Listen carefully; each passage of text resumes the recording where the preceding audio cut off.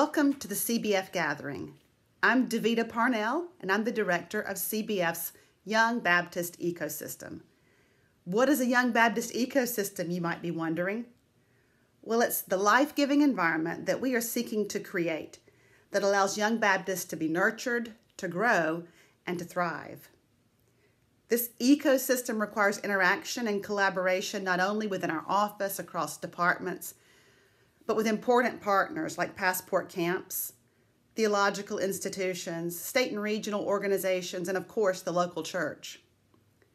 Practically speaking, this looks like events, retreats for students like C'est La Vie and our seminarian retreat, summer and semester internships like Student.go and Student.church, scholarships for seminarians, CBF days, which are learning opportunities on campuses for students, learning and fellowship opportunities at General Assembly, our Fellows program, which is an initiative for those in their first call post seminary, and our 25 Young Baptists to Know initiative.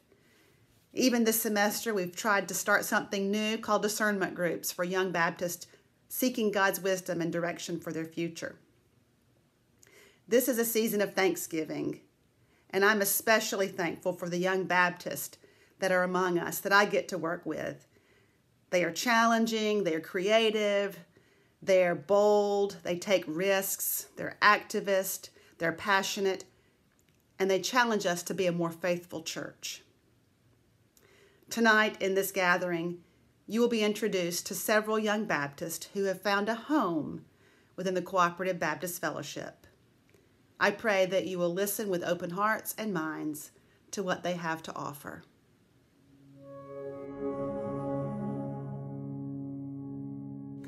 Greetings, CBF family. What a pleasure it is speaking with you all and gathering with you all in times like this. My name is Ira Nealy, and I am a native of West Helena, Arkansas. I have served alongside some amazing people during my three years of service with Student.go. And my connection with CBF started when a friend of my sister called asking would she mind going with a group of people to read books to children in Lakeview, Arkansas. My sister, of course, did not take it, so I did. I got in the car of Catherine Bond, aka Cat, and since that day, my life has changed.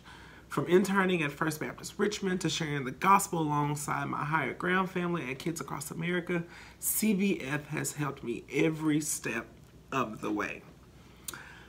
Just a little about me. I attended the prestigious Coahoma Community College, majoring in music education while trying to figure out if ministry would be the next step for me in some capacity. So with the help of Molly Palmer, I was sitting in a room full of instruments interviewing with Lori and Taisha via Skype for a golden ticket to National Baptist Memorial Church. Since then, I have experienced and learned what it means to understand the calling of mission, service, and being the hands and feet of God. During that time, my faith was strengthened and my hope was restored, all through the help and impact of Student.go. Each year after serving with Student.go, I brought back new skills and mindsets to better myself and the things that I did. Even though coming back to real life was hard and sometimes frustrating, I was simply reminded of the word be. Be honest, be present, be mindful. My last year of service with Student.go really pushed me to look beyond the four walls of a church and to remember that the church is for all people I served at the Andrew P. Stewart Center and met with some amazing people while serving there. But seeing the behind the scenes work of a nonprofit with the mission of service and educating families about life and rights was simply amazing. But not only just that, it was the impact of being at my first General Assembly, where honestly, those moments of us embracing the truth of the conflicted past of this world and realizing that there must be change was even better. It started a push for justice, peace, and equality for all people, but also for people that look and sound like me. So when I returned to Mississippi feeling empowered and led to be and do something, I got back in contact with my former choir director. After speaking with him, and him knowing about my new skills and experiences that CBF Student I Go had allowed me to learn and to take in. He allowed me to cast a vision for a piece that speaks to all if you allow yourselves to listen. Just like my time with Student I Go, I listened, I learned, and now I am living knowing that I took a vow to serve God's people anyhow.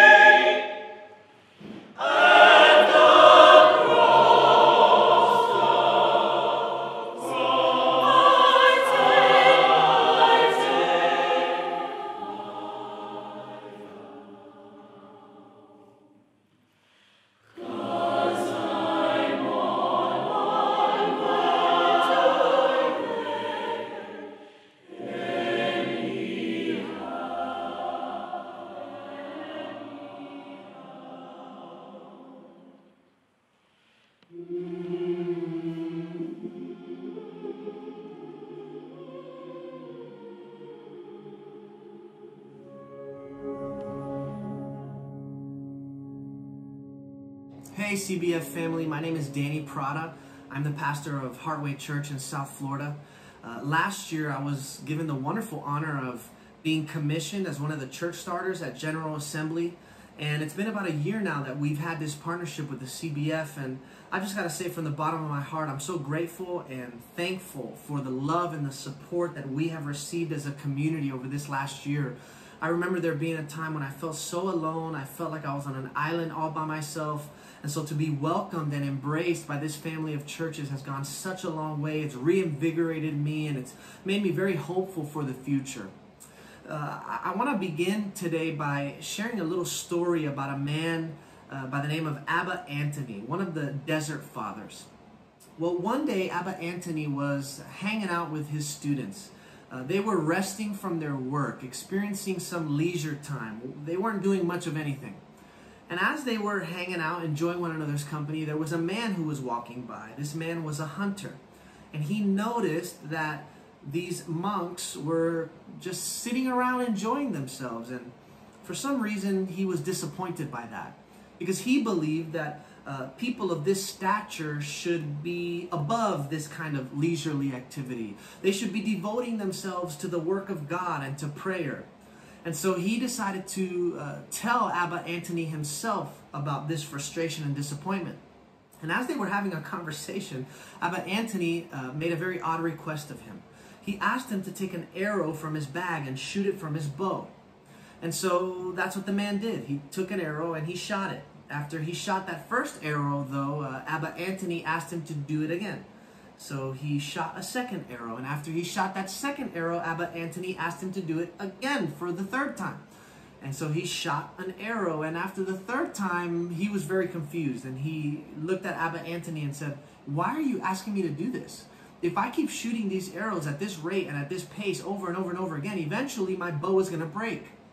And to that, Abba Antony responded by saying, This is how it is with the work of God. If we stretch ourselves beyond measure, we too will also break. The reason why I bring this up is because I know a lot of us are at that breaking point ourselves. We're very tired. We've been running very fast and uh, uh, very hard for a really long time. And so we're drained. Uh, it's, it's, it's difficult to give ourselves away to others, and, and it takes a lot of energy to do that, especially at a time like this when there's so much commotion, so much chaos, so much confusion, so much uncertainty. And so, for each and every one of us who are weary and tired and overwhelmed and stressed out by life, Jesus offers to us the gift of rest for our soul. And there's nothing more important that you can do for yourself, for your family, for your church, for your ministry than to learn how to abide in this rest that God offers to the soul. Uh, our culture has taught us that rest is something that can only be experienced after it has been earned. But the truth is, the rest that God has to offer us is a rest that is always available. It's always freely given. It's always accessible. It's as close to us as our very breath. In fact, I like to say every conscious breath is a prayer. Any moment that you can get outside of your head and get into your heart and open yourself up to the love of God and the grace of God in this moment is a moment that you can experience the eternal rest that the gospel offers to your soul. It was Jesus who said in Matthew chapter 11 and verse 29, Take my yoke upon you and learn from me, for I am gentle and humble in heart, and you will find rest for your souls. See, to rest in God is to rest our mind in the present moment. I love how uh, some of the monastics would put it when they said, Every day, our goal and our desire is to stand before God with our mind in our heart. In other words, to be at rest is to be at peace within ourselves. And this kind of rest can only be experienced when we are willing to give ourselves over to God in absolute dependence, trusting in the love of God, the providence of God, and the care of God over our lives. So many of us are stuck in the future. We're fearful and we're anxious about things that we cannot control. It's better to leave the future in the hands of God.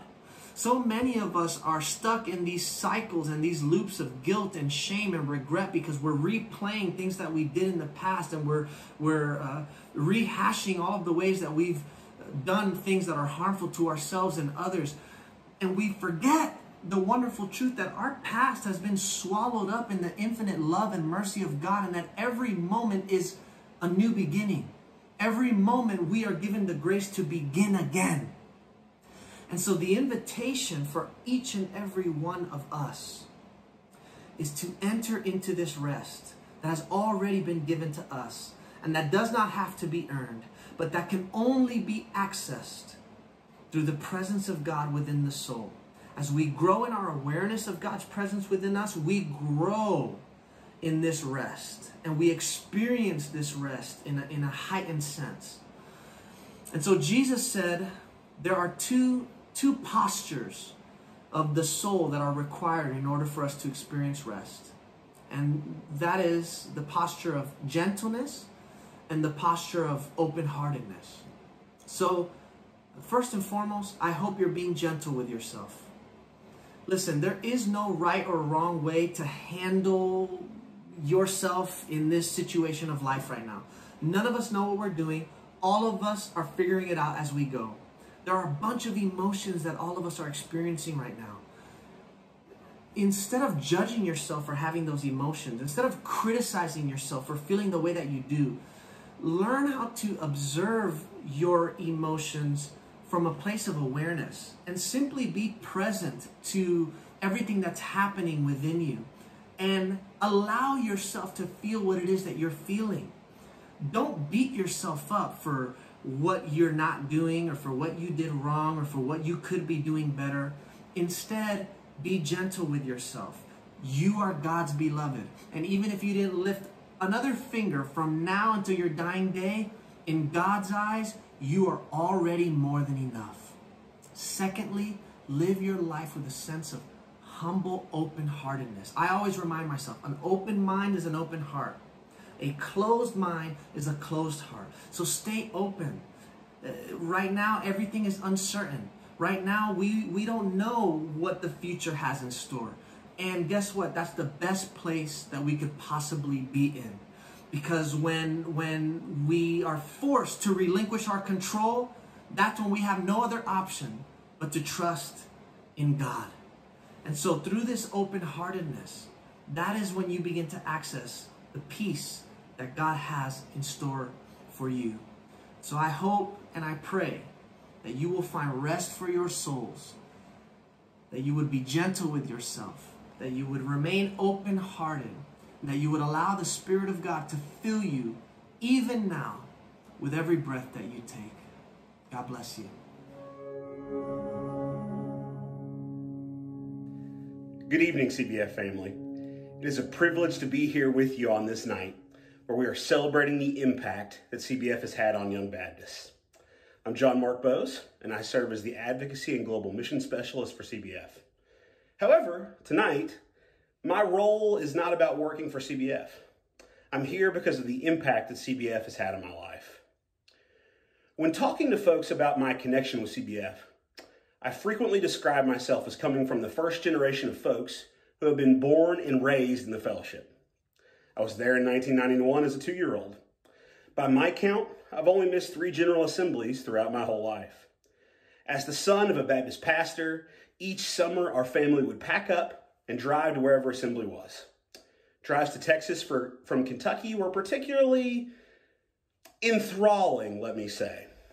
These were our family vacations in the summer. I was introduced early on to what it meant to be a missions oriented, moderate Baptist. We always found a way to have fun, but I re- never realized the significance that General Assembly would take on for me. After my parents' divorce, my mother still made it a point to make sure that my sister and I would continue to be connected in the CBF world. Whether it was attending the annual CBF Kentucky gathering at General Assembly or General Assembly, the Cooperative Baptist Fellowship became home for us.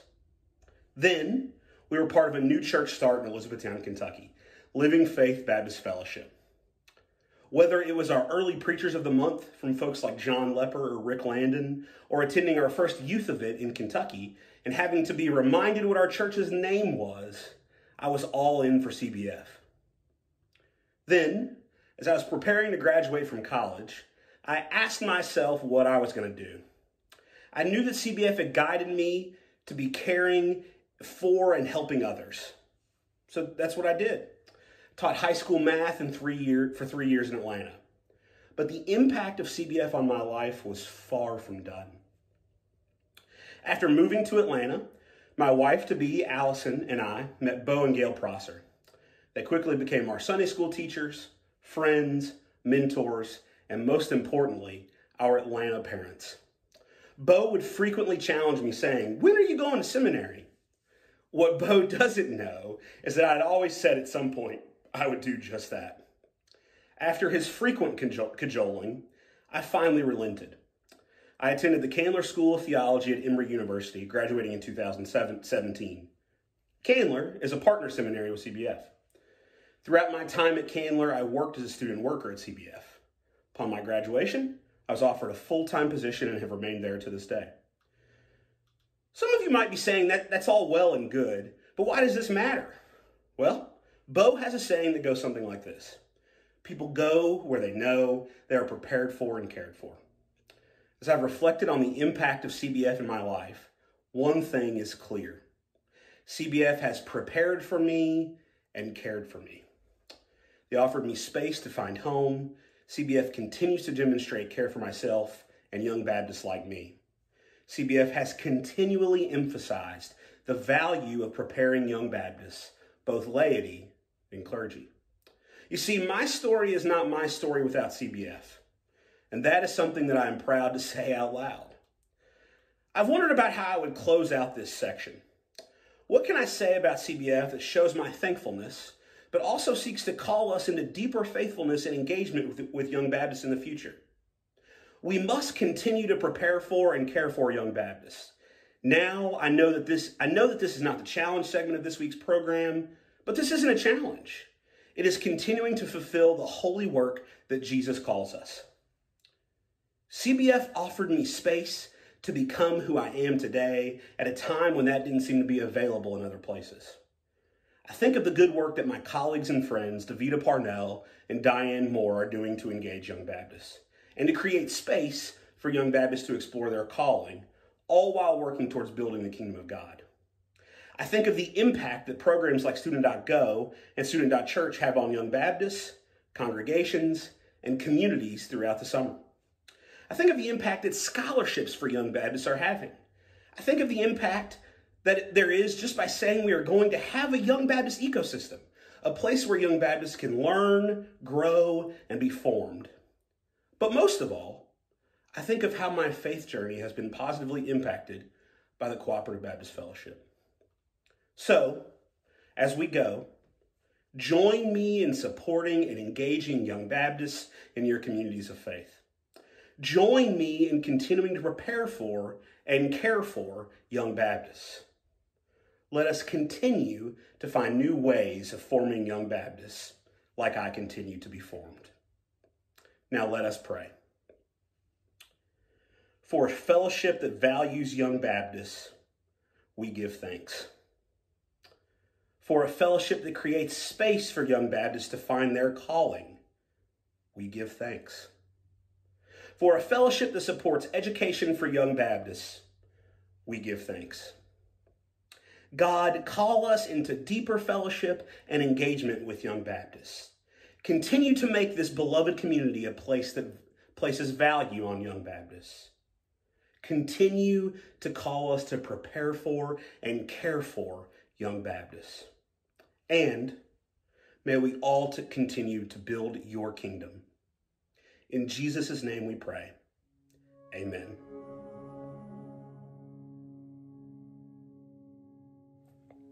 Hi, my name is Hannah, and I am a new GSCer in Raleigh, North Carolina, working with Marc and Kim Wyatt um, at Welcome House. So Welcome House is a welcoming place, and it's also a house. Um, so the main vision and mission of Welcome House is temporary housing for refugees, immigrants, and asylum seekers who find themselves in the United States. Um, but our mission and vision and resources extend past that to our clients and our new neighbors. Um, we provide ESL classes. Um, in a world that's not struck by a pandemic, we have um, preschool readiness. Uh, we also collect donations from church communities and other communities in the area to furnish new homes for our clients, um, as well as bridging that gap between the church community and the international community here in Raleigh. Um, so my role here is to be the best asset that I can be for Welcome House and its mission, um, whether that be for Marc and Kim, for the volunteers, which are the backbone of us, and then as well as um, the clients themselves. So I think one of the biggest things that I've had the opportunity to learn um, through volunteering with other refugee organizations as well as now helping with Welcome House is that you have to be willing and okay to step out of your comfort zone, which can be really scary, and it is scary um, because we like being comfortable and feeling um, safe. Uh, but I think as Christians, especially, we have to be able to recognize when we're in that comfort zone and be willing to step out to meet to meet the marginalized um, and to meet people who wouldn't necessarily cross our paths. Because I think if you look at scripture, that is something that becomes so prominent in Jesus's life. Um, when he reaches out to people, he moves towards them. Um, he doesn't wait for them to come to him. So something I'm going to challenge myself to do this week is to sort of reflect a little on what my comfort zone looks like, um, as well as pushing and challenging that zone a little. And I would love to invite you into that challenge with me. Um, and you might be saying, well, Hannah, we're in the middle of a pandemic. And yes, we want to stay safe and we want to stay distance and we want to wear masks. But I think there are a lot of creative and cool opportunities in this season um, to collectively come together in different ways than we're used to. Um, in ways in which we can still get our hands dirty and do the good work. So in this season that feels a lot like waiting, um, let us not grow weary. Um, God is moving and he is working and he is preparing us. And there is purpose where your feet are right here and now. Um, I pray, I pray that you have a blessed week. Um, and thank you.